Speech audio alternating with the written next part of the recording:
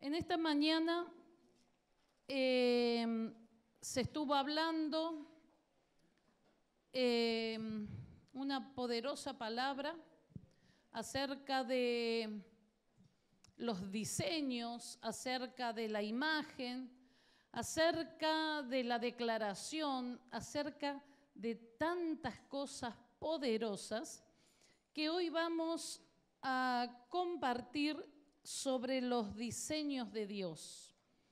Establecer los diseños de Dios. Por donde quiera que nosotros vayamos, vemos muchos diseños, pero no son de Dios.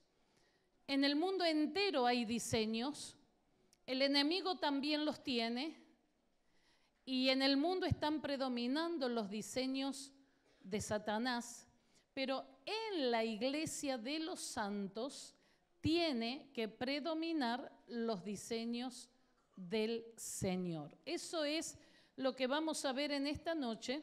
Vaya conmigo al libro de Segunda de Reyes, capítulo 16, y en todos los órdenes de nuestras vidas se tienen que implantar los diseños del Señor. En todos los órdenes de nuestras vidas. Porque en la escritura encontramos los diseños de Dios para nuestras vidas. Claro, tenemos que conocerlos. Alguien nos tiene que enseñar para que los aprendamos y los podamos poner por obras. Ahora, ¿por qué hay que poner por obra los diseños del Señor? Y porque justamente el enemigo se ha encargado de distorsionar los diseños del Señor y hay que volverlos a establecer. Eso es lo que vamos a ver, lo que hizo un rey verdaderamente dejando bastante que desear. Dice Segunda de Reyes, es mucho lo que vamos a leer, así que no se distraiga, abra su Biblia para que me pueda seguir en lo que vamos a compartir en esta noche. Dice, comenzando por el versículo 2, cuando comenzó a reinar Acaz era de 20 años y reinó en Jerusalén 16 años y no hizo lo recto ante los ojos de Yahweh su Dios, como David su padre. Antes anduvo en el camino de los reyes de Israel y aún hizo pasar por fuego a su hijo, según las prácticas abominables de las naciones que Yahweh echó de delante de los hijos de Israel. Asimismo, sacrificó y quemó incienso en los lugares altos y sobre los collados y debajo de todo árbol frondoso. Entonces Rezim, rey de Siria, y Peca, hijo del rey de Israel, subieron a Jerusalén para hacer guerra y sitiar a Acaz, mas no pudieron tomarla.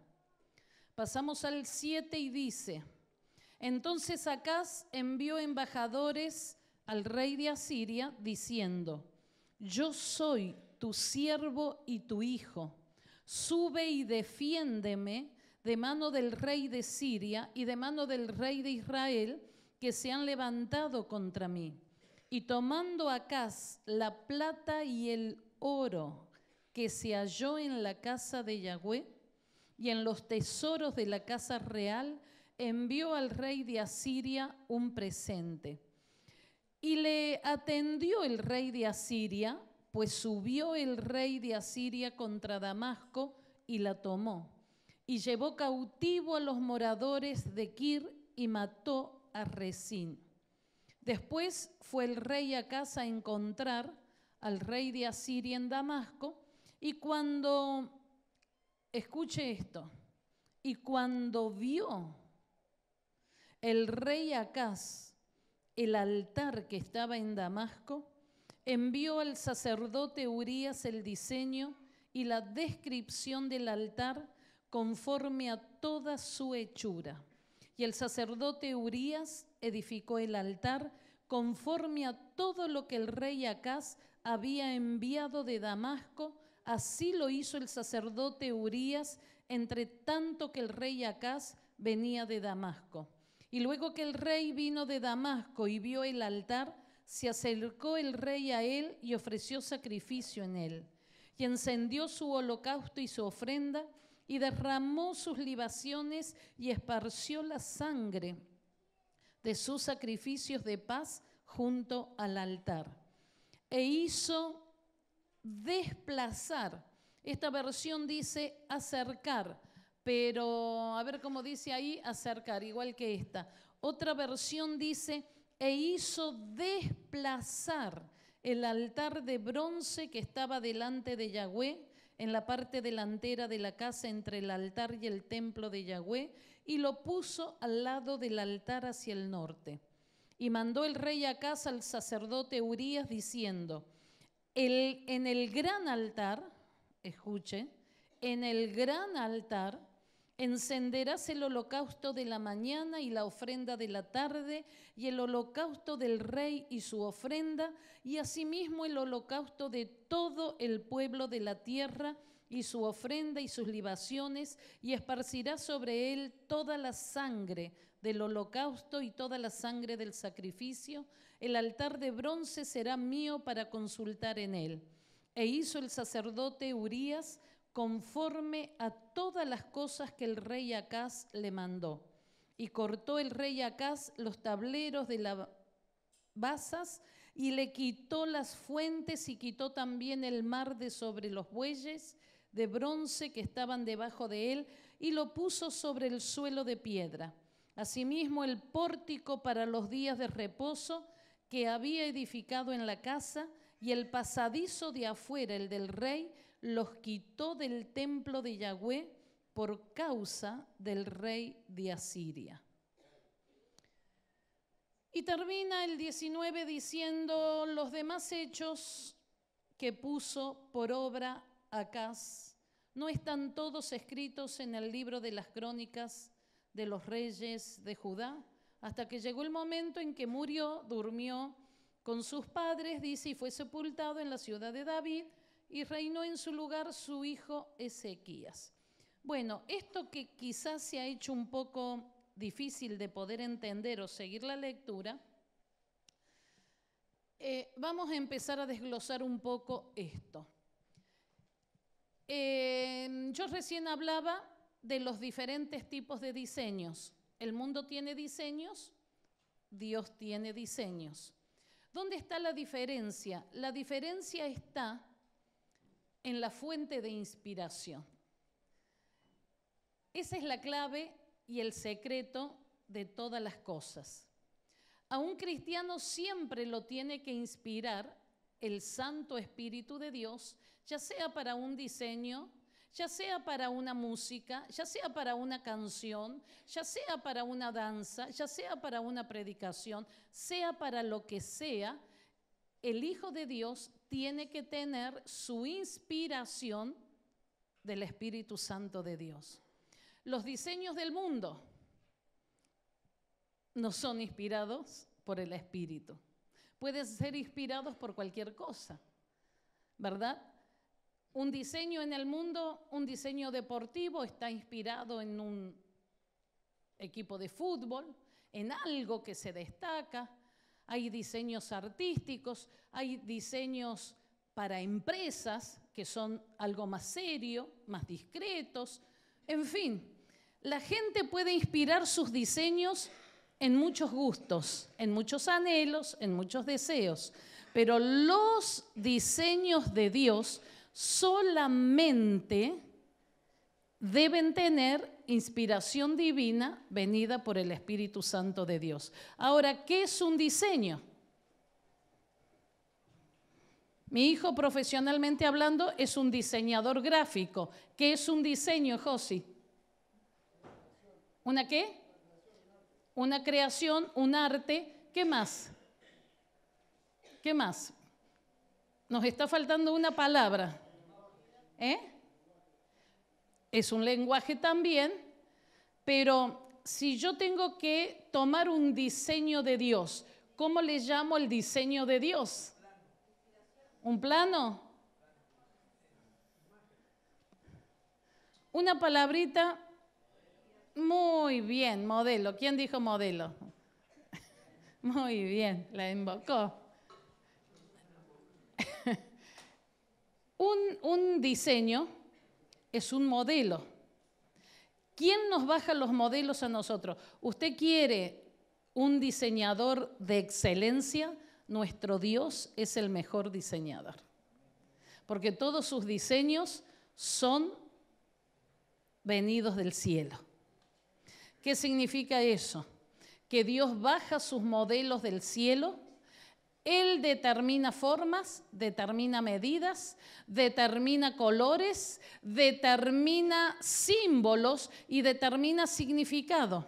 Eso quiere decir que cuando Dios dice, y como vemos en la palabra, que a cada siervo suyo le fue dando dirección, no se discute. Nadie le puede decir, pero Señor, si en vez de cuadrado lo hacemos... No, el Señor baja el modelo y eso es lo que sus hijos hacemos. ¿Por qué? Porque Él como diseñador divino de lo sobrenatural, Él tiene el significado de por qué pide lo que pide, por qué demanda lo que demanda. Ahora, en esta mañana vimos el diseño así un poco sobre nuestra persona misma, cuando Dios dijo, hagamos al hombre a nuestra imagen y a nuestra semejanza. Entonces quiere decir que hay un diseño de Dios en nuestras vidas. Eso quiere decir que fuimos formados con un diseño venido del cielo. Ahora, si nuestras vidas han sido diseñadas por Dios conforme a su imagen y a su semejanza, eso significa que todo lo que tenga que ver con nosotros como hijos de Dios tiene que tener relación también con diseños de Dios. Eso significa que no hemos nacido para hacer lo que queremos, hemos nacido para hacer lo que debemos. Claro, hasta que hemos llegado a entender eso, ¿cuántos años de nuestra vida hemos hecho lo que hemos querido? Pero cuando hemos llegado al Señor, ya se acabó el hacer lo que yo quiero. Empieza el hacer de lo que debo. Entonces ahí es donde empiezan los diseños de Dios para nuestras vidas. Por ejemplo, un diseño de Dios para el matrimonio es un hombre y una mujer. Ahora, un diseño de Dios en ese matrimonio es que los dos sean de la misma fe. Esos son los diseños de Dios. Un diseño de Dios es que su hijo viva en prosperidad y no en miseria. Un diseño de Dios es que sus hijos vivan en salud y no en enfermedad. Un hijo de Dios es que viva en felicidad, en gozo y no suplicando y llorando miserias. Esos son los diseños de Dios. Ahora, para que esos diseños de Dios se manifiesten, obviamente tenemos que vivir a la manera de Dios. un diseño de Dios es que por su obediencia, por nuestra obediencia a su palabra, dice, todas las cosas nos vayan bien y seamos prosperadas. Entonces, si hay algo que no nos está saliendo bien y no se ve la prosperidad, entonces tenemos que chequear los diseños. ¿Qué diseños estamos aplicando? ¿Los de Dios o los del mundo? Hoy los diseños del mundo, usted ya sabe lo terriblemente pecaminoso que son. Hoy los diseños del mundo dice que cualquier pareja viene bien, sea un hombre con otro hombre, una mujer con otra mujer, o también un hombre con un animal o una mujer con un animal. O también un padre con una hija. O también una madre con un hijo. Esos son los diseños del mundo. Pero obviamente para nosotros esos diseños no van, ¿verdad? Porque hay un solo diseño establecido por Dios y está desde el comienzo de la escritura, qué es lo que Dios aprueba y qué no. Ahora, fíjese este hombre. Comenzó a reinar siendo un joven de 20 años, pero hay una característica.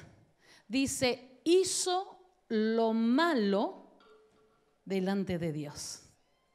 ¿Qué implicaba hacer lo malo? Bueno, tanto como hacer pasar sus hijos, quemarlos por el fuego para sacrificarlos a ídolos. Entonces usted se dará cuenta que la maldad que hoy vemos en los padres no es nada nuevo. Esto ya viene de tiempos antiguos. Ahora, dice el versículo 3, anduvo en el camino de los reyes de Israel y una de las palabras que hoy el apóstol hablaba era acerca del camino.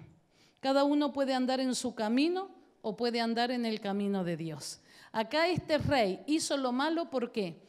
Porque no andaba en el camino del Señor, sino que andaba en el camino de los reyes, andaba en el camino de hombres, hacía prácticas abominables delante de Dios y obviamente no le importó que ofendiera a Dios. Ahora escuche lo que dice el versículo 5 y, y ponga toda su atención para que no se le haga difícil poder imaginar en su mente esta escena. El rey de Siria, llamado Resín, y el hijo del rey de Israel, dice, subieron a Jerusalén para hacer guerra contra Acaz, para sitiar a Acaz y hacerle la guerra. Ahora escuchen lo que hace Acaz. Y quiero que note la importancia, punto número uno, la importancia de la declaración frente al enemigo. ¿Qué declaramos frente al enemigo? Acaz iba a ser derrotado por dos reyes, dos ejércitos que se unieron para hacerle la guerra. Entonces cuando él se entera de eso, fíjese lo que hace. Él busca aliado en quién.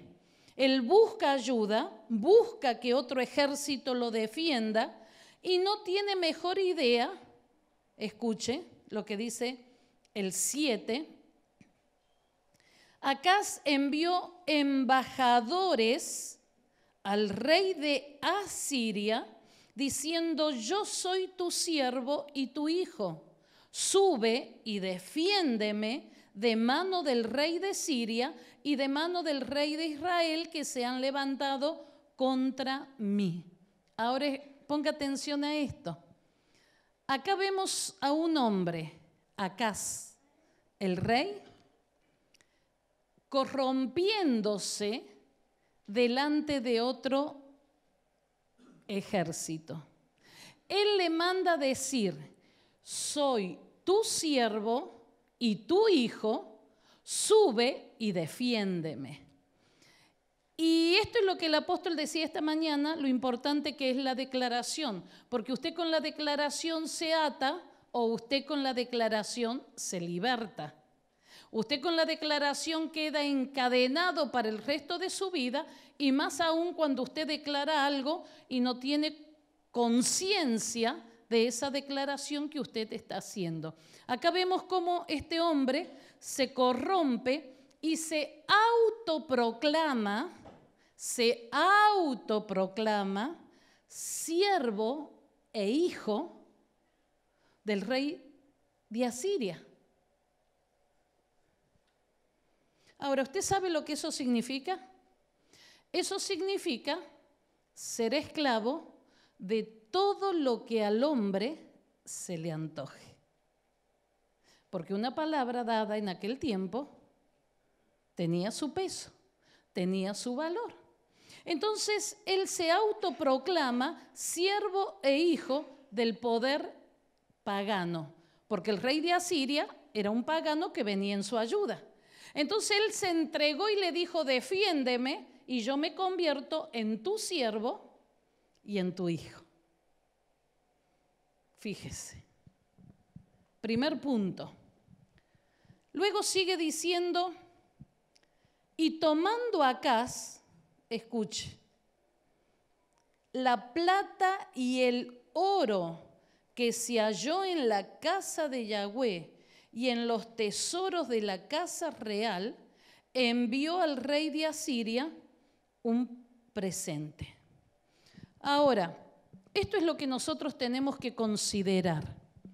¿Cómo es posible que los bienes y tesoros que había en la casa del Señor sean usados para un pacto pagano? ¿Me está entendiendo? Por eso hay que tener cuidado, como en alguna ocasión enseñé, hay que tener cuidado cuando usted, teniendo un dinero que ha sido bendecido, que ha sido santificado, porque si usted le ha dado a Dios el diezmo que le pertenece a Dios, obviamente el resto que a usted le queda, queda bendecido y santificado para que usted sea un buen administrador sobre ese dinero. Ahora, ¿qué pasa cuando usted malgasta un dinero que le ha quedado bendecido y santificado y usted lo malgasta haciendo pactos con alguien que usted sabe que es pecador, que usted sabe que no le pertenece a Dios? Entonces usted tiene que saber que esas finanzas también se van a ver afectadas. Pero acá se hace más grave porque esas finanzas salieron de la casa de Dios, no del bolsillo del, del rey o de una familia. Más grave se hace cuando en la casa de Dios el dinero no se usa con temor santo y reverente. Y eso fue lo que hizo este hombre. Sacó el dinero, fíjese, plata y oro que se halló en la casa de Yahweh y en los tesoros de la casa real y le envió un presente al rey de Asiria. ¿Por qué? Porque él quería quedar bien. Como le mandó a decir, soy tu siervo y soy tu hijo, él se autoproclamó eso, entonces le mandó un presente para quedar bien con el rey. Pero no termina ahí la cosa. Quiero que vaya hilvanando cada una de estas, de estas partes. Ahora bien, dice el 9, y le atendió el rey de Asiria, claro, porque le llevó un presente. Entonces el rey salió a recibirlo, dice, pero subió el rey de Asiria contra Damasco, la tomó, llevó cautivo los moradores Aquir y mató a Resín. El rey de Asiria cumplió su parte salió en defensa de Acaz y mató a Resín, que Resín era el rey de Siria. Él cumplió su parte. Ahora, ponga cuidado a esto. Cuando usted hace alianza con un impío, con un pagano, con un incrédulo, cuando usted se une en una alianza, usted tiene que saber que le va a ir mal. Porque el diseño de Dios dice, no te unas en yugo desigual. Entonces eso tiene que ver tanto en el matrimonio como eso tiene que ver tanto en las eh, relaciones laborales como en todo lo que usted emprende en la vida, usted no se puede asociar a un impío, porque le va a ir mal porque los diseños de Dios no lo permiten. ¿Me está entendiendo? Entonces este hombre cumplió su parte, fue e invadió Damasco, mató al rey de Siria y recuerde que acá dijo, soy tu siervo y soy tu hijo.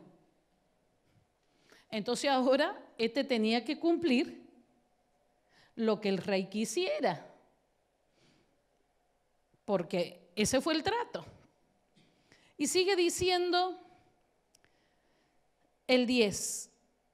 Después fue el rey Acaz a encontrarse con el rey de Asiria en Damasco y fíjese lo que pasa. Y aquí comienza lo peligroso de esta situación. Y cuando vio el rey Acaz el altar que estaba en Damasco, ah, ¿de qué tipo de altar se trata? Era un altar pagano.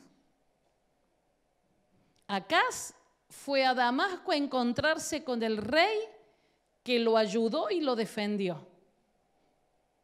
Entonces cuando llega a Damasco, ve un altar que a él lo deslumbró. Pero no era un altar donde se alababa a Dios, era un altar pagano. Entonces fíjese lo que él hizo. Y subraye vio, cuando vio. ¿Qué pasa cuando vemos algo y nos deslumbra? ¿Qué pasa cuando vemos algo y nos impacta? ¿Qué pasa cuando vemos algo y quedamos anonadados? ¿Qué pasa cuando vemos algo y eso algo nos... Ay, decimos qué divino.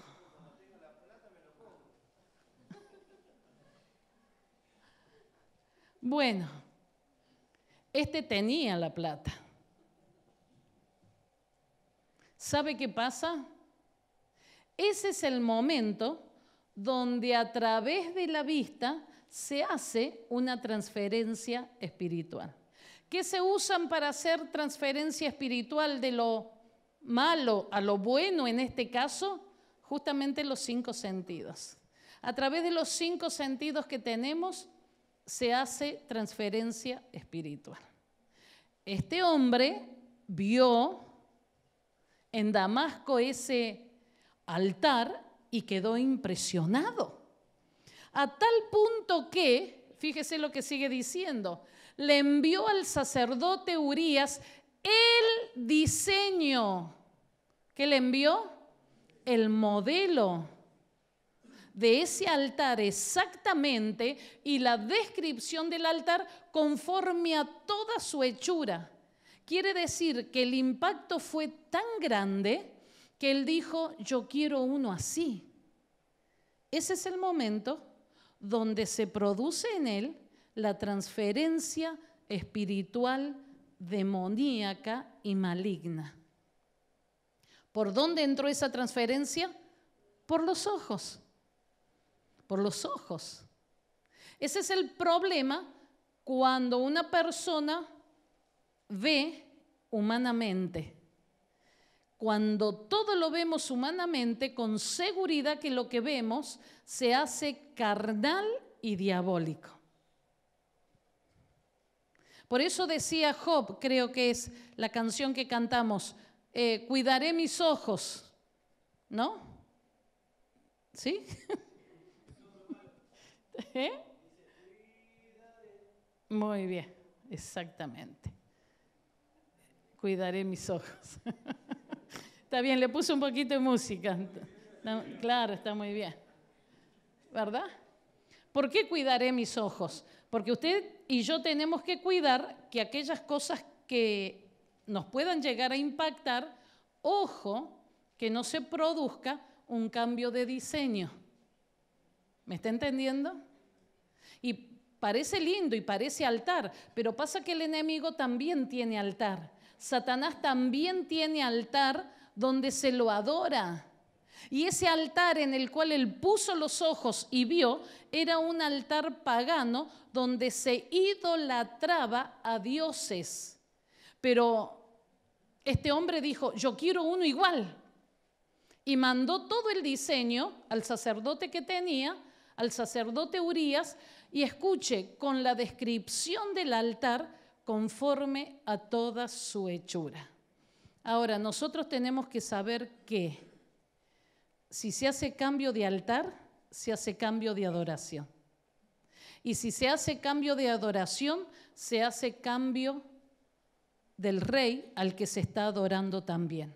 No podemos adorar a Dios en lo pagano. No podemos adorar a Dios en lo que no ha sido consagrado ni diseñado con el diseño divino de Dios. Por eso, em, bueno, y ya me empiezo a meter en un terreno bastante bastante escabroso, pero lo voy a dejar un poquito para más adelante. Póngame el que sigue. Le mandó el diseño. Ahora escuche. Y el sacerdote Urias edificó el altar conforme a todo lo que el rey Acaz había enviado de Damasco. Y así lo hizo el sacerdote Urias, entre tanto que el rey venía de Damasco. Ahora, fíjese a qué punto llegó la transferencia espiritual en este hombre que ni siquiera esperó a llegar a destino de nuevo a su lugar. Antes de que él regresara, le mandó apresuradamente el diseño para que cuando él llegara, ese altar ya esté levantado.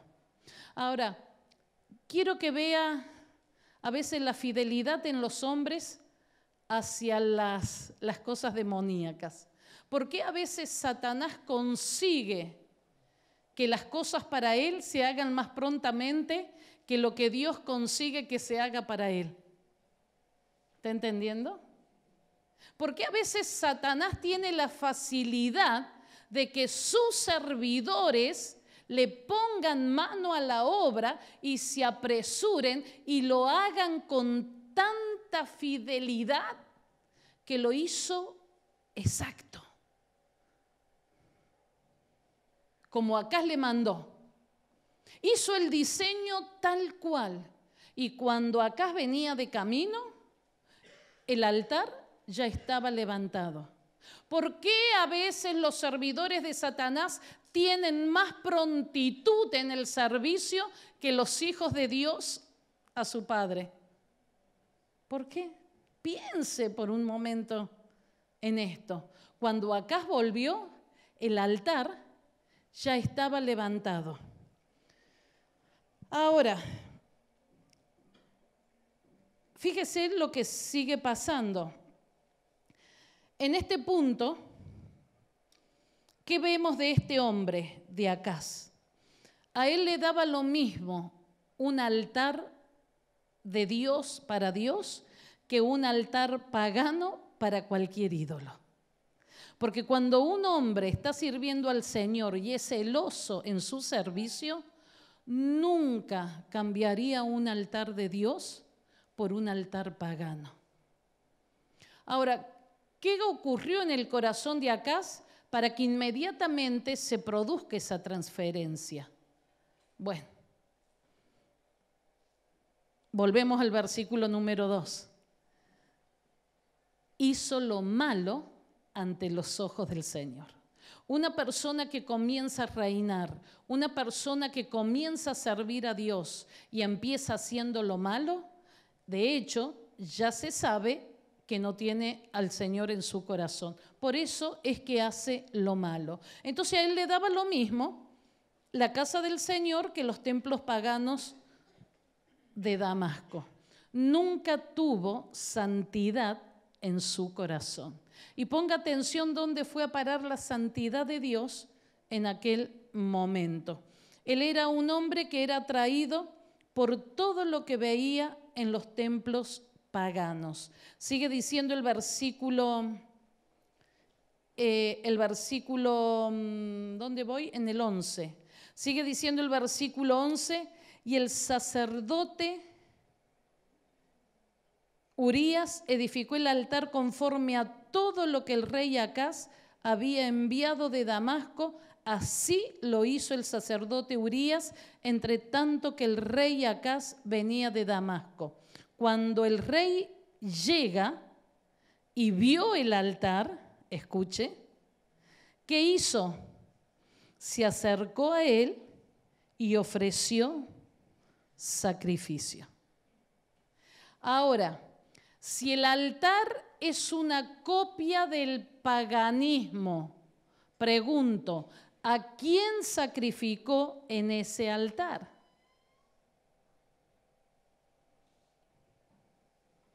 ¿Me está entendiendo?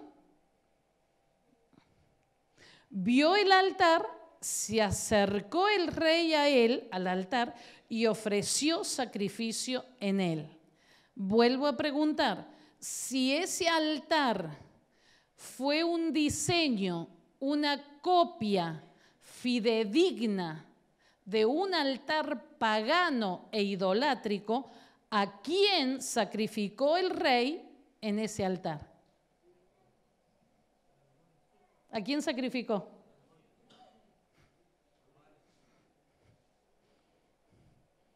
¿Está entendiendo la pregunta? ¿Mm? Todos mirando ahí. ¿Qué quiere descubrir ahí que está? Todos están así. ¿Entendió la pregunta que hice? ¿Eh? ¿Entendió la pregunta que hice? ¿Sí o no? Vamos de nuevo. Ponga atención. Si está dormido, despiértese. Ponga atención. Acabo de decir que el rey fue a Damasco y vio un altar deslumbrante. Pero ese altar era un altar pagano, era un altar idolátrico. Entonces el rey Acaz le manda a su sacerdote Urias el diseño inmediatamente para que cuando él llegue tenga ese altar listo en su lugar.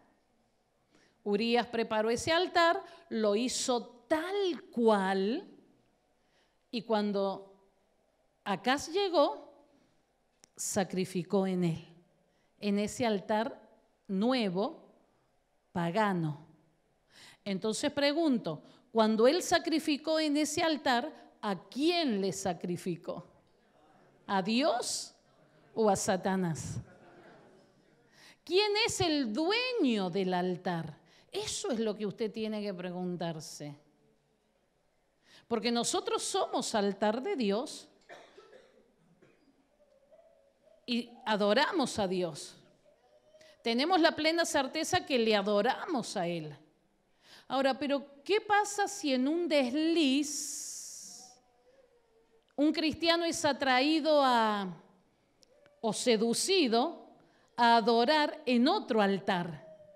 Tiene que saber que todo lo que no provenga de Dios es una adoración a los demonios, es una adoración al paganismo, es una adoración a la idolatría. Y todo eso tiene que ver con Satanás. ¿Me está entendiendo? Por eso no solo importa a quién adoramos, importa en el altar donde adoramos. No es lo mismo cualquier altar, no es lo mismo cualquier lugar. ¿Me está entendiendo? No es lo mismo. Aunque usted diga, pero también alaban a Dios, también cantan a Dios, no es lo mismo. Por eso usted tiene que cuidar los altares. Porque no en todo altar se adora a Dios. Claro, estaba en el lugar de Dios, porque este sinvergüenza lo hizo hacer en el lugar del altar de Dios. Entonces el altar pagano estaba en el lugar del altar de Dios, pero no adoraba a Dios. Entonces de pronto la persona puede decir, pero está en el lugar correcto. Puede estar en el lugar correcto, pero el altar puede que no sea correcto. ¿Me está entendiendo? Por eso hay gente que va y se mete en cualquier lugar, dice, pero hablan de Dios, pero ¿de qué Dios? ¿Estás seguro que en cualquier lado donde se invoca a Dios, el altar es de Dios? Ah, mire, seguimos. Entonces dice, puso en la casa de Dios una copia de ese altar pagano. ¿Y sabe qué es lo más terrible?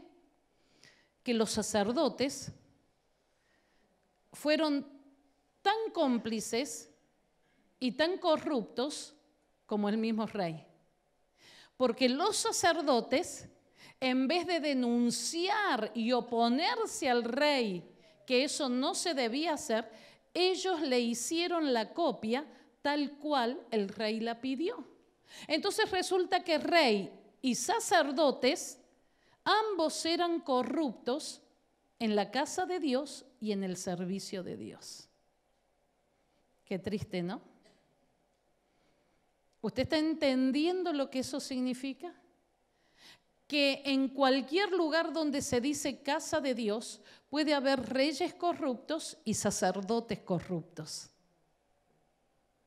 Y, la casa es casa de Dios, pero las personas se corrompieron. Por eso hay que tener cuidado con muchas cosas de las que se imponen en tantos lugares, porque puede que el lugar sea correcto, pero puede que los altares hayan cambiado. Entonces, si los altares cambiaron, cambió el dueño de la adoración. Cambió el dueño de la adoración. Por eso el Señor dijo, está la mesa del Señor y está la mesa de los demonios. Se puede comer de la mesa del Señor, pero también se puede comer de la mesa de los demonios.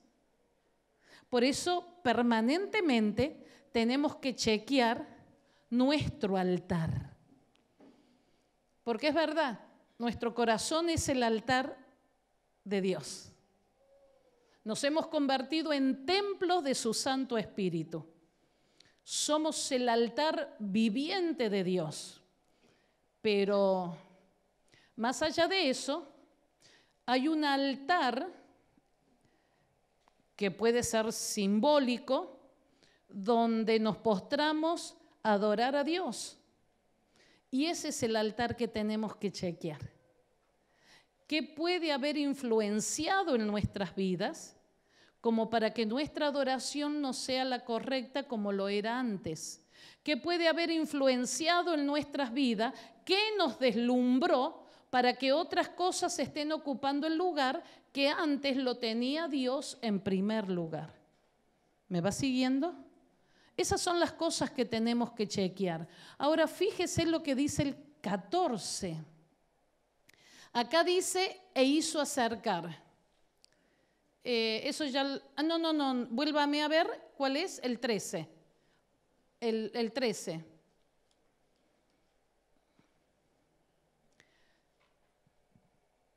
Ahora, fíjese cómo una persona puede quedar pactada sin saberlo. Ponga atención acá. Cómo una persona puede quedar pactada con el enemigo sin saberlo. Y dice, a ver si comienza desde allí, desde el 13 o el 12, desde el 12. Eh, el rey vino, vio el altar, se acercó y ofreció sacrificio. Él fue el primero que ofreció sacrificio. Ahora escuche el 13. Y encendió su holocausto y su ofrenda, derramó sus libaciones libaciones son ofrendas líquidas, y esparció la sangre de sus sacrificios de paz junto al altar. Ahora escuche, fíjese lo que hizo. En la entrada de, de todo altar, lo primero que siempre se encuentra es el altar de bronce donde se hacen los sacrificios y después viene el altar del agua para purificar, para limpiar. Escuche lo que él hizo. Y encendió su holocausto, eh, perdón, el 14, e hizo acercar o desplazar el altar de bronce que estaba delante de Yahweh en la parte delantera de la casa, entre el altar y el templo de Yahweh, y lo puso al lado del altar hacia el norte. Ahora, sigue diciendo el 15, y mandó el rey Acaz al sacerdote Urías diciendo, escuchen lo que dijo, en el gran altar. Ah, ¿cómo lo llama el altar pagano? Gran altar. Ya el otro que era el altar de Dios no le importaba. Ahora le importaba este, que era el pagano, porque ese le deslumbró. Y dijo, en el gran altar, ahora ponga atención, encenderás el holocausto de la mañana, la ofrenda de la tarde, el holocausto del rey, su ofrenda. Ah, y escuche ahora. Y asimismo el holocausto de todo el pueblo de la tierra y su ofrenda y sus libaciones. ¿Qué significa? Todo un pueblo puede quedar pactado por la ofrenda de un rey, a quien el rey quiere a su paganismo. ¿Entiende que no es dar ofrenda en cualquier lado? ¿Entiende que usted no se puede guiar y decir, yo siento de darle al Pepe? ¿Y usted qué sabe el Pepe en qué altar adora? Yo siento llevar tal monto de ofrenda a tal lugar. ¿Y usted qué sabe en tal lugar qué altar tienen? ¿A qué Dios adora? Entonces ponga atención. Este rey sacrificó en ese altar pagano su ofrenda, su holocausto, pero también la ofrenda de todo el pueblo la quemó en ese altar. Entonces él llevó a todo un pueblo a que sacrificara a un dios pagano. Y resulta que después la gente dice, pero ¿por qué no tengo bendición? Porque la adoración no es la correcta. El lugar sí era el templo de Dios. Pero resulta que éste desplazó el templo, el altar de Dios e hizo hacer ese templo pagano. Hizo sacar la fuente que estaba delante, que habla de limpieza, de purificación, de santidad, la hizo quitar y la hizo poner para atrás, lo que debía estar adelante porque adelante era donde el pueblo se tenía que limpiar, se tenía que lavar, se tenía que santificar. Y él que hizo, ¿sabe qué hizo? Tiró por el suelo la santidad. Eso es lo que hizo. Entonces usted imagínese, cuando se habla de un liderazgo, cuando se habla de personas así, entienda la gran responsabilidad que tienen las autoridades de una iglesia, de una congregación, entienda la responsabilidad que tiene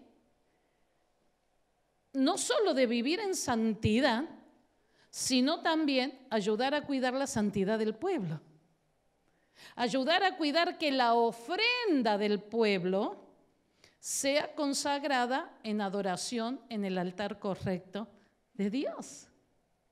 Por eso es que usted no puede decir, yo con mi dinero hago lo que quiero. No, Señor, porque no es tuyo. No es tuyo.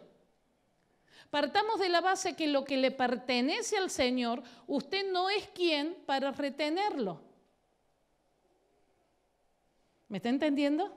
Entonces no es suyo lo que es suyo es lo que le va a quedar bendecido primero por haber honrado a Dios con lo que es de Dios. Y que lo que es de Dios usted no lo puede disponer de darlo como quiere y a quien quiere porque no son los altares correctos. Mucha gente dice, yo mi diezmo se lo voy a dar al pobre y al necesitado. No es el altar.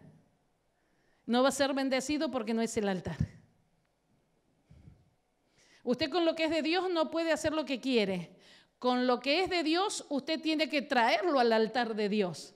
Ahora, con lo que es suyo, con lo que le queda bendecido, de ahí usted tiene que bendecir conforme Dios le guíe a quien va a bendecir. ¿Me está entendiendo? Pero lo que es de Dios, usted no puede determinar qué es lo que va a hacer. Porque si no llega al altar de adoración de Dios, ese dinero perdió su bendición. Porque no le toca a usted disponer qué se va a hacer.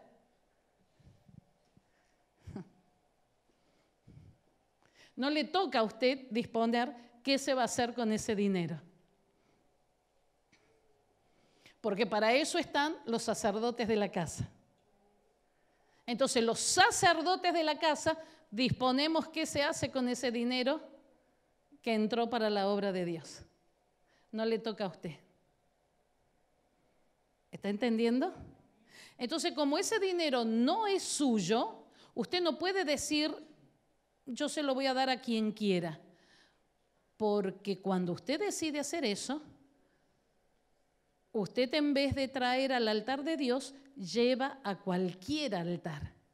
Y usted tiene que saber que en vez de ser bendecido va a acarrear consecuencias por haber cambiado el altar. ¿Está entendiendo? Entonces, por eso usted tiene, me olvidé del techo.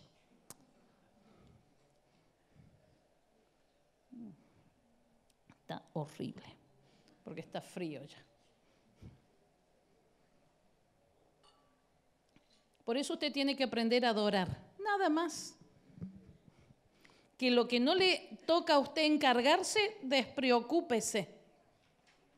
Entonces, este hombre dice, versículo 15, en el gran altar encenderás el holocausto de la mañana y la ofrenda de la tarde.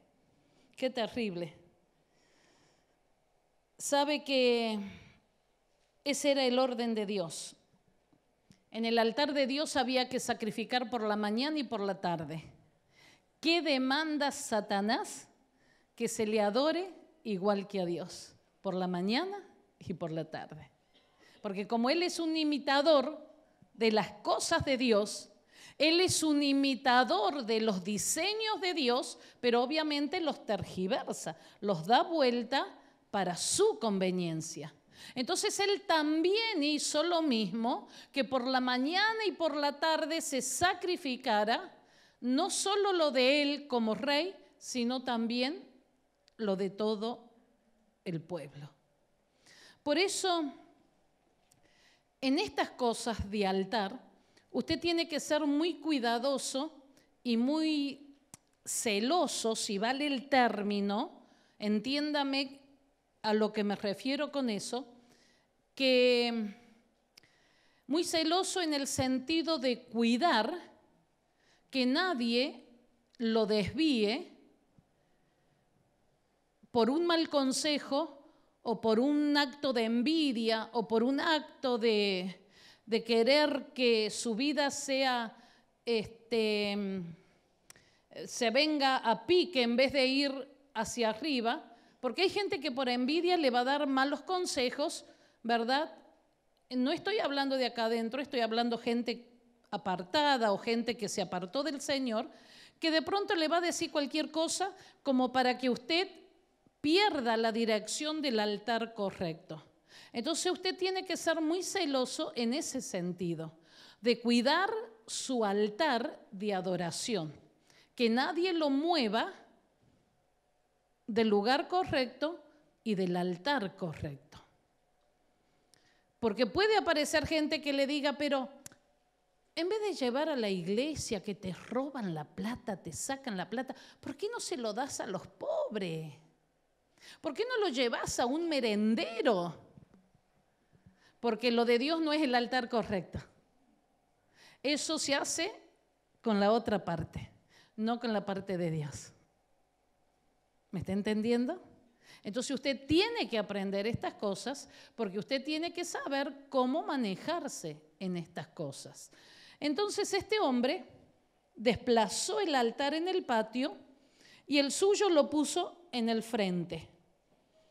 Profanó la fuente de bronce, que es lo que hablaba de la limpieza, quitó la fuente de agua y la puso sobre el pavimento. ¿Qué significa eso? eso fue un acto de desprecio por la santidad de Dios. Cuando se desprecia la santidad de Dios, se lo hace a un lado, ¿vio? Así como que déjalo por ahí nomás. Cuando no se pone cuidado y atención en las cosas sagradas de Dios, entonces cuando se las desprecia y se las deja por ahí nomás. Este hombre desplazó el altar de Dios y lo puso para allá. Ponelo por allá nomás. Mm. ¿Dónde fue a parar la santidad? Al suelo. Y si un rey no está cuidando y valorando su santidad para Dios, entonces imagínese de allí para abajo todo lo que se desprende. Ahora bien, em, sigue diciendo el versículo 16. E hizo el sacerdote Urías conforme a todas las cosas que el rey Acaz le mandó. Qué gente fiel para lo malo, ¿no? Imagínese si ese sacerdote lo hubiese reprendido al rey y le hubiese dicho, rey, búscate otro yo no voy a ofender a Dios, no voy a cambiar el altar de Dios. Aunque quizás, no sé si lo habría matado, lo habría echado, ¿qué habría hecho el rey? No sé. Pero el rey y el sacerdote se unieron en la misma corrupción. Por eso hay que tener cuidado con los aliados. ¿A quién busco de aliado? ¿A quién busco que me haga el favor? Porque seguro después voy a estar en deuda. Y cuando me pida un favor que no es lo correcto y lo voy a tener que cumplir porque estoy en deuda con él. Ese es el problema de las alianzas con gente impía. ese es el peligro de las alianzas con gente que no tiene a Dios en su corazón. Que como va a estar en deuda, ellos van a tener derecho a pedirle cualquier cosa y usted no le va a poder decir que no porque hizo alianza con ellas. Ese es el problema. Entonces entendamos los diseños de Dios que cuando Dios dice no te unas en yugo desigual, Dios sabe de qué nos está librando en esas uniones con yugo desigual. ¿Mm? Entendamos eso. Entonces, todos los diseños de Dios van en contraposición a los diseños de este mundo. Ahora bien, ahí encontramos al rey Urias, fiel a lo malo, fiel a la corrupción, fiel al, al rey. Los dos se corrompieron y ¿sabe cuál es el problema de la corrupción? ¿Cuál es el problema de la corrupción? El problema no está quizás en los millones que se pueden agarrar quizás los corruptos de este tiempo. El problema de la corrupción es que la persona queda ciega, entre comillas, a los valores espirituales verdaderos. Ese fue el problema del rey y del sacerdote que cuando la gente espiritualmente se corrompe, queda ciega a los verdaderos principios espirituales. Por eso dice el profeta Isaías, compra la verdad y no la vendas. Compra la verdad. Ahora, ¿con qué se compra? Con fe. No es con dinero. Compra la verdad y no la vendas. No la vendas. Entonces no se puede vender un principio bíblico por quedar bien con un amigo, porque como él me hizo un gran favor, entonces ahora a mí me toca hacérselo a él. Pero es que justamente en esas alianzas, en esos pactos, vas a tener que hacer cualquier cosa por cumplir el pacto que hiciste con impíos y con corruptos. ¿Usted está meditando en esto? Y que por supuesto no son amigos, no, no son... La gente que busca su corrupción, usted no puede creer que ese tipo de gente le ame, ¿verdad? Porque una, una gente que está buscando su corrupción, su destrucción, usted no puede decir, son mis amigos, me aman y me quieren ayudar. No, no, no te aman, por eso te quieren destruir.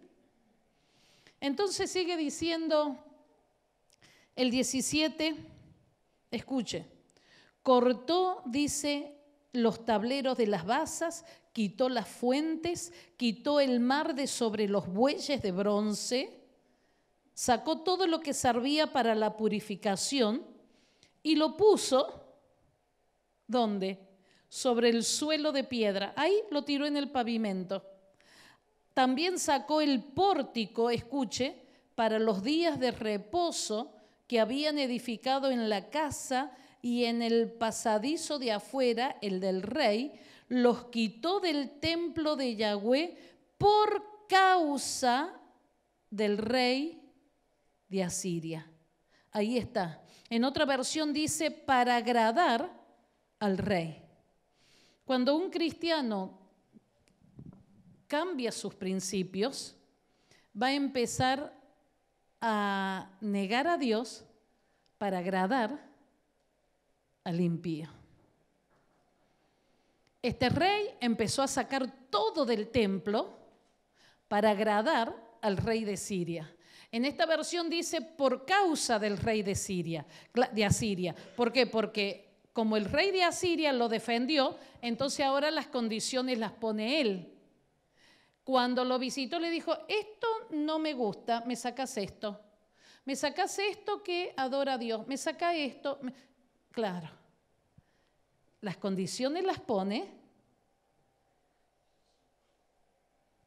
el que venció no el que es vencido. Y como él de entrada se autoproclamó siervo e hijo de él, ahora le tocaba cumplir su parte. Y es el momento donde Satanás te empieza a quitar la adoración a Dios porque hay un pacto establecido sin haberlo pensado,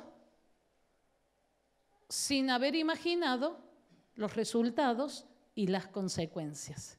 Entonces ahora, como quería agradar al rey de Asiria, empezó a quitar todos los símbolos que había en la casa de Dios. Pero es tan terrible que fíjese cómo termina. Vaya conmigo a Segundas de Crónicas, capítulo 28, y ahí usted va a ver cómo termina. Termina como el diablo quiso que termine. Y esto es lo triste, que en vez de un hijo de Dios terminar victorioso, termina como el diablo quiso que termine. Dice segunda de Crónicas 28. Vamos a leer del 22 al 25. Y dice, Además, el rey Acaz, en el tiempo que aquel le apuraba, ¿quién es aquel? El rey que, de Asiria que lo estaba apurando, que saque todas las cosas de Dios, que limpie eso, no quería nada de Dios. Entonces, en el tiempo que aquel le apuraba, añadió, escuche, mayor pecado contra Yahweh porque ofreció sacrificios a los dioses de Damasco. Uh, qué terrible, ¿no? Que le habían derrotado y dijo, pues que los dioses de los reyes de Siria le ayuden, yo también ofreceré sacrificios a ellos para que me ayuden, bien que fueron estos su ruina y la de todo Israel. Ahora escuche. Además de eso, recogió Acaz los utensilios de la casa de Dios y los quebró. Escuche, y cerró las puertas de la casa de Yahweh y se hizo altares en Jerusalén en todos los rincones. ¡Qué terrible! ¿Cómo terminó Acaz? Cerrando las puertas de la casa de Dios. Y empezó a sacrificar a los Baales, a los demonios, a todo lo idolátrico, quebró todos los elementos que se usaban en la casa de Dios y terminó cerrando las puertas de la casa de Dios. Qué terrible, ¿no? Y termina el 25 diciendo, hizo también lugares altos en todas las ciudades de Judá. Escuche, no le bastó lo que hizo, sino que en todas las ciudades de Judá hizo levantar altares para la idolatría, para quemar incienso a los dioses ajenos, provocando así a ira a Yahweh, el Dios de sus padres. ¿Se da cuenta cómo comenzó? Si bien él comenzó haciendo lo malo ante los ojos del Señor, pero el altar era el correcto. Pero ¿cómo terminó? Con un altar equivocado y cerrando las puertas de la casa de Dios. Ya su corazón estaba transformado. Ya en su corazón no había nada de Dios. Ahora su corazón adoraba a los dioses ajenos. Y todo comenzó, ¿por dónde? Porque sus ojos fueron deslumbrados al ver un altar pagano. Entonces, a esto, con esto quiero terminar. Entienda que cuando uno dice, tenga cuidado cuando salen cortes de pelo nuevo, ¿qué diseños quiere tomar? Cuando uno dice, tenga cuidado con la moda, ¿qué diseño quiere tomar? Cuando uno dice, tenga cuidado con las amistades, ¿qué diseño quiere tomar? ¿Me está entendiendo? Porque no se trata de tomar la imagen del mundo, porque el Señor dice que hemos sido criados, creados, no criados, creados a su imagen y a su semejanza. Entonces, si Dios utilizó el diseño del cielo para crearnos, entonces nosotros debemos tomar todos los diseños que tiene que estar relacionado con nuestras vidas. Eso significa que no podemos, no debemos enamorarnos de cualquiera, tenemos que enamorarnos de la persona que Dios tiene preparada. Claro, pero alguno puede decir, ¿y cómo sé cuál es? Bueno, es que Dios se va a encargar de hacer todo completo. Hugo, eh, ¿me está entendiendo? No podemos. Porque algunos dicen, es tan bueno, tan bueno que lo único que le falta es recibir a Cristo. Le falta todo entonces.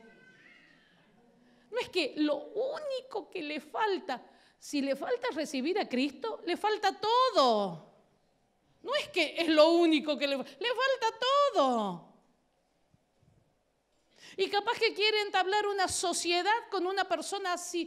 Qué bueno que es. Pero no tiene Cristo entonces no tiene nada. ¿Me está entendiendo?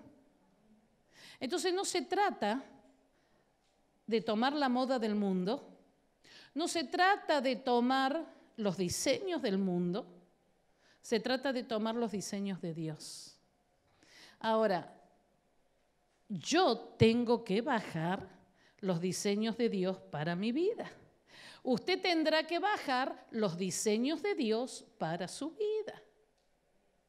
¿Qué es lo que a Dios le agrada? ¿Qué es lo que Dios quiere para mi vida? ¿Qué es lo que Dios quiere para mi futuro? ¿Qué es lo que Dios quiere para todo lo que tenga que ver con mi vida? Porque entonces si yo bajo los diseños de Dios a mi vida, los modelos de Dios a mi vida, ¿qué Dios quiere en cada situación de mi vida? Pues Dios tiene que bendecirme. Ahora, pero si yo tomo los diseños del mundo, estamos en el horno. Entonces la música tiene que ser inspirada por Dios y sí, la música tiene que ser inspirada por Dios para que el altar sea de Dios. Pero resulta que tenemos rock cristiano, resulta que tenemos cumbia cristiana, resulta que tenemos reggaetón cristiano, resulta que tenemos tantas porquerías cristianas y no le hemos preguntado a Dios si le estamos adorando. Ah.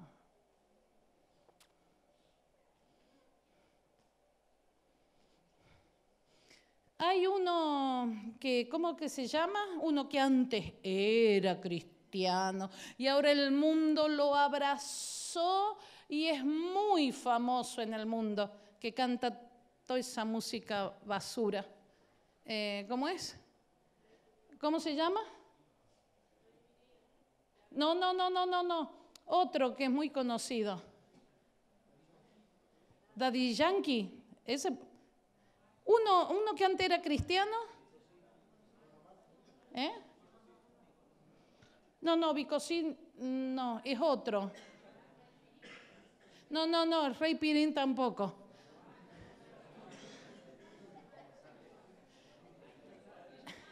¿Quién? ¿Don Omar? No sé quién es, pero tampoco. No, uno muy, muy, muy, muy famoso. ¿Eh?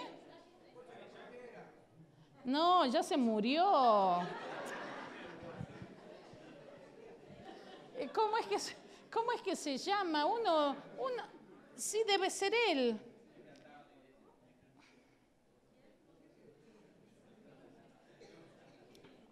Usted fíjese, esto es lo que tenemos que entender. Cuando una persona quiere tomar diseños del mundo, eh, yo me acuerdo, ¿cuántos se acuerdan de cuando salió la lambada, por ejemplo?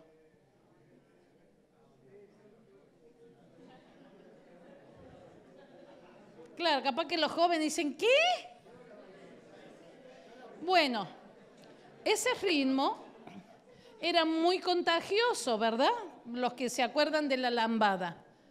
Era, era, una, era un baile bastante sensual, bastante exótico, bastante degenerado. Pero su música era muy, muy contagiosa, ¿verdad? Era cuestión que a veces con los piecitos, ¿vio? Se le iban los pies. Entonces, por ahí oí cristianos que decían, bueno, tenemos que ser astutos y para ganar la gente usamos esa misma música y le cambiamos la letra.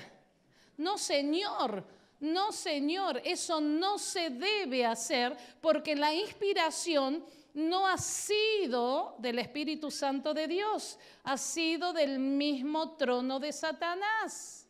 Es como cuando salió esa canción eh, despacito ya hubo cristianos que a esa música le pusieron letra cristiana. Y había un cuarteto de jóvenes cantando en una iglesia esa canción despacito, pero con letra cristiana, y todas las chinitas a los gritos. ¿Por qué? Porque ellos, los cuatro bailaban al son de la música y daban vuelta y, claro, las chicas se volvían locas. Entonces pregunto, ¿eso adora a Dios? ¿Eso adora a Dios? Eso es lo que tenemos que ver. ¿Le adora a Dios o le adora a la carne, a la imaginación? ¡Uh, qué bien que está! O sea, ¿a quién le adora? Y más de uno puede decir, pero estamos en la iglesia. Claro, pero resulta que estás mirando al tipo que da vuelta y está cantando despacito y el bocho ya te está dando vuelta, quién sabe para qué lado.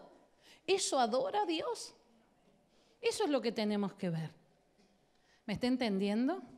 Entonces, por ahí, sí, alguien podrá decir, bueno, la pastora es media legalista, media religiosa. Yo no me considero ni legalista ni religiosa por eso.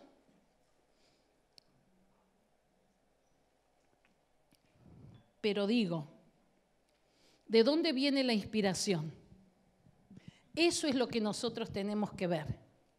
¿Qué le inspira a un hombre, a una mujer, a hacer lo que hace?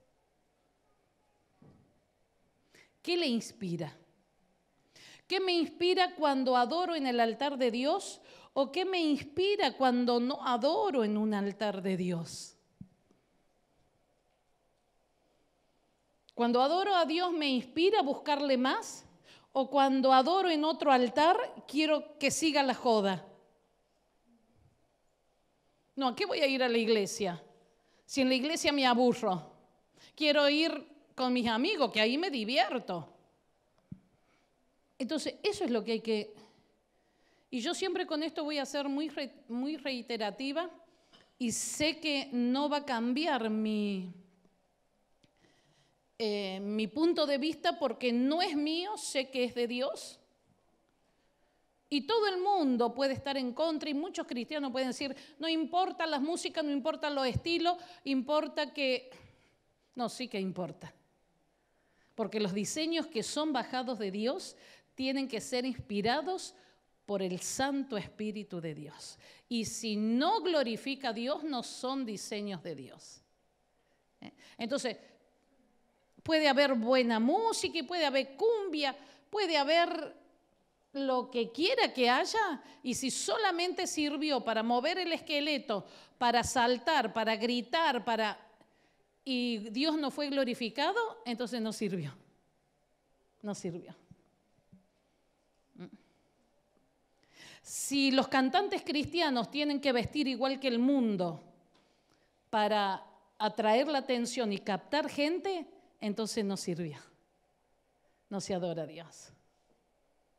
¿Me está entendiendo? Puede haber mucha gente que no lo vea así. Yo estoy tranquila al verlo así, porque em, sé positivamente y verdaderamente que las cosas de Dios tienen que traer inspiración del cielo. Si no trae inspiración del cielo, es solo entretenimiento.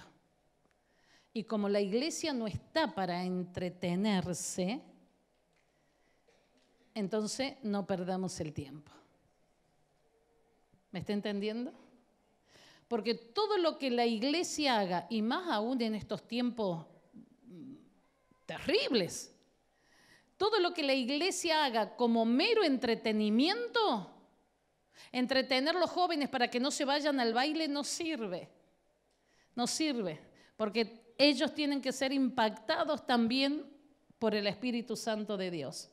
Entonces, si alguien dice, bueno, vamos a hacer una vigilia para que por lo menos los jóvenes estén hasta las 4 o 5 de la mañana, así no se van al baile, y después salen a esa hora, ya a esta hora al baile no van a ir. No sirve. Porque esos no son los diseños de Dios. No son los diseños de Dios. Cuando un joven aprendió a adorar en el altar de Dios, no va a querer otra cosa. Porque no va a cambiar a Dios por las cosas del mundo. Pero de eso se trata, no cambiar el altar. Cuando un hombre una mujer cambia el altar, cambió todo y los resultados también cambian. Estamos viendo en este hombre, terminó cerrando las puertas de la casa de Dios, terminó quebrando todos los elementos que se usaban en adoración a Dios. ¿Y cómo quedó su corazón? Lleno de corrupción, adorando y sacrificando a dioses paganos. Y todo comenzó con los ojos, que vio algo que le cautivó y quedó prendido su corazón. Entonces cuando usted no se asegura de que su corazón esté prendido en Dios, y seguro que lo va a prender cualquier bicho que anda por ahí. ¿Me está entendiendo?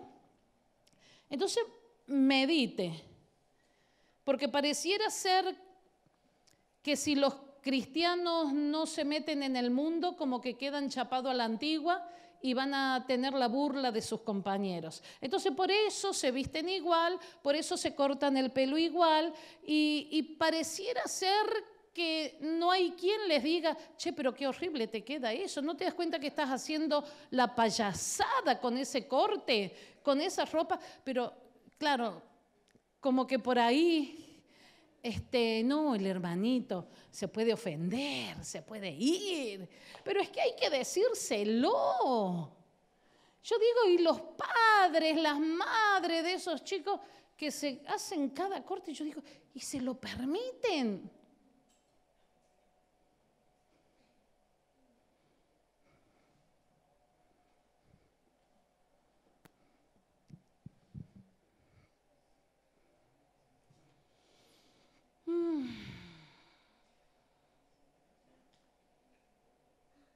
¿Y qué va a hacer de ahora en más?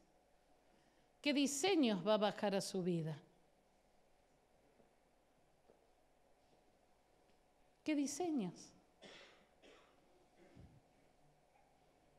Eso tendrá que ver usted qué va a hacer.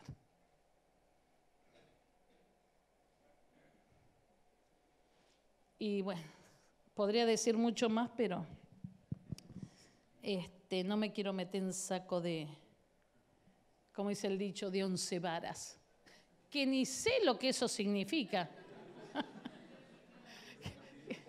¿Vio? ¿Vio que en el mundo no me quiero meter en saco de once varas? Ahora, ¿qué son las once varas? ¿Quién sabe? ¿Cuáles son las once varas que tiene un saco? ¿Nadie sabe?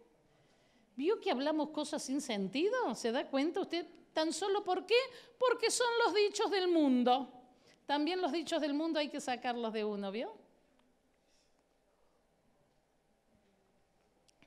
Che, todos los que usan saco, ¿no sabe qué son las varas del saco? ¿Eh? Ah, a ver, búsqueme a ver qué significan las once varas y encima 11. ¿Por qué no 10? ¿Por qué no 12? Che, no hay ninguna modista, acá nadie sabe qué son las varas del saco. ¿Y? Vamos, rápido, rápido.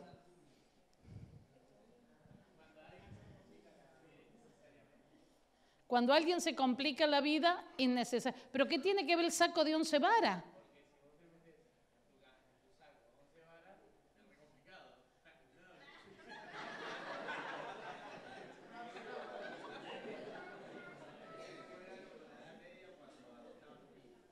¿Cómo?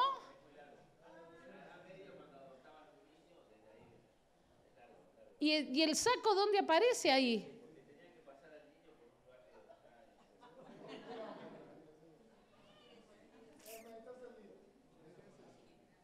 Eso.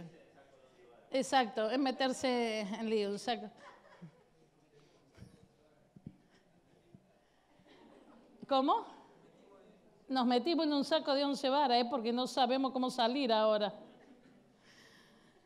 Bueno, ¿qué va a hacer usted?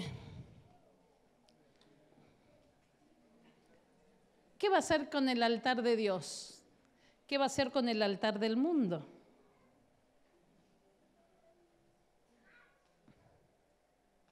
¿A quién adorará? ¿A quién adorará? Y mire que muchos han cambiado altar en la palabra de Dios. Muchos han cambiado altar en la palabra de Dios. Por eso está escrito para nuestro ejemplo, para que nosotros no cometamos ese error. Cuando Sansón puso los ojos en una filistea, él ya tenía diseño de Dios tomar mujer de entre su pueblo. Pero él dijo, me enamoré de esta.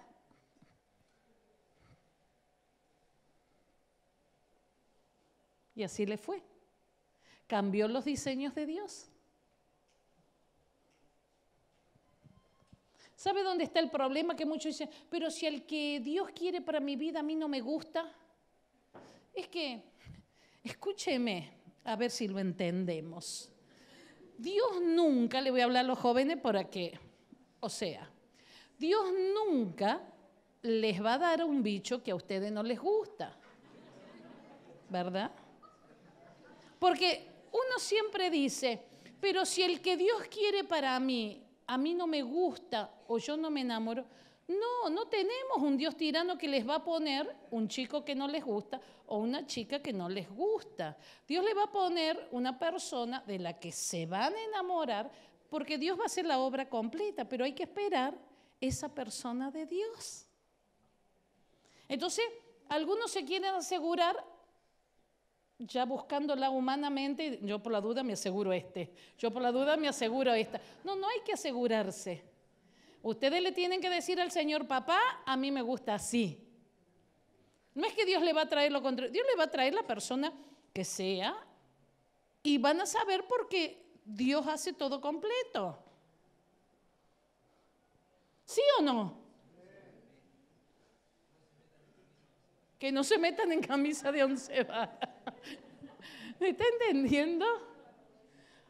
O sea, algunos piensan que la voluntad de Dios es tenernos oprimido, angustiado y como diciendo, ahí te mando ese bicho y de ese bicho te vas a enamorar. No, no es así. Muy bien, Hugo.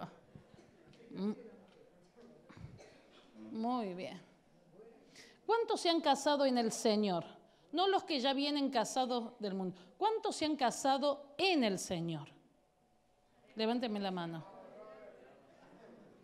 No, no, no, pero me refiero, bueno, claro, en el caso de Roberto, eh,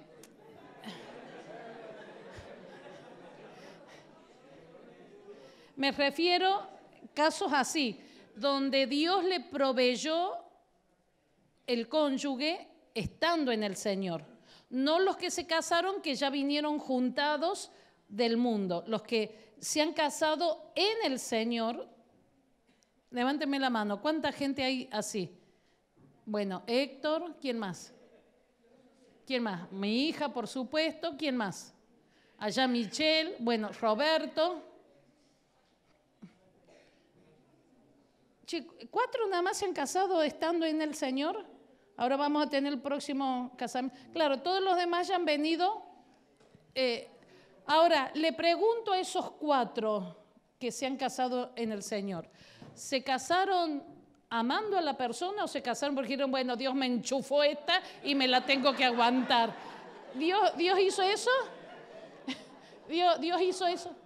Amando. ¿Quién más levantó la mano? Allá mi hija, amando. Allá, ¿quién más levantó la mano? Michelle, Usted le impusieron esa y esa. No, ¿verdad? O sea, Dios hizo la obra completa. ¿Quién más levantó acá la mano? Roberto. ¿Usted se casó diciendo se me va la vida, se me va el año y me caso porque si no me caso. No, se tuvo que casar por amor, ¿verdad? O sea, ¿se entiende lo que quiero llegar? Que la persona que es de Dios, Dios se encarga de hacer todo completo. Entonces, contra ese diseño de Dios no podemos ir. Hay que esperar el hombre o la mujer de Dios porque el diseño lo tenemos que bajar de Dios.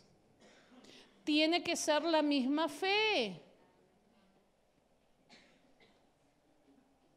No puede uno tener fe en Dios y el otro fe en los ídolos. Tenemos que tener la misma fe.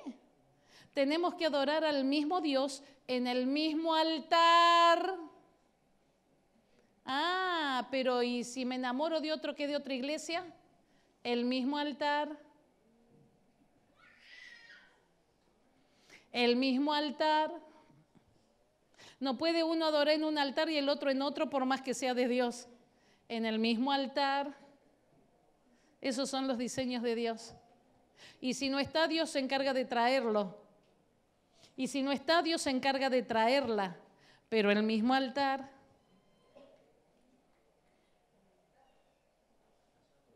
Che, nadie dice amén, ¿eh? Son duros, ¿eh? Pero son los diseños de Dios son los diseños de Dios. Me voy, la busco en el mundo y la traigo para que se convierta. No, no sirve. Si no la trae Dios, no sirve que la traigas vos. Dios la tiene que traer o lo tiene que traer. No me gustan los que hay y bueno, orá. ¿Qué le va a hacer?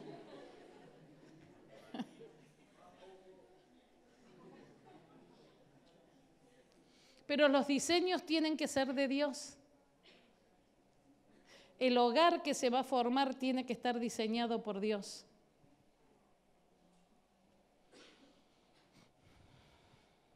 Che, diga amén. ¿Usted no quiere un, un, hogar diseñado por Dios? ¿Usted no quiere una familia diseñada por Dios? ¿Usted no quiere una vida en un altar de Dios? Esto es así. Esto es así. Entonces, de acá en más, cuando usted se vaya a cortar el pelo, no ande buscando modelos mundanos. Dígale, papá, ¿cómo te gusta que me corte el pelo? ¿Me hago un renuevo? ¿Cómo te gusta? ¿Te agrada?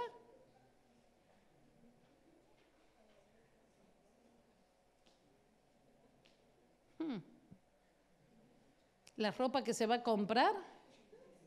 Papá, ¿te gusta? ¿Cómo te gusta que me vista? Quiero agradarte a ti, no al Pepe. Porque si te agrado a ti, tú vas a hacer que le agrade al Pepe. Esa es la clave. No busque contentamiento en los hombres antes que en Dios. ¿Me están entendiendo? Primero Dios y Dios se va a encargar de lo demás. Pero primero Dios. Entonces, a veces nos ponemos y nos encadenamos con un montón de adornos en las piernas, en los brazos, en las orejas, en cuántas cosas. ¿Y sabemos lo que eso significa? Son diseños del mundo.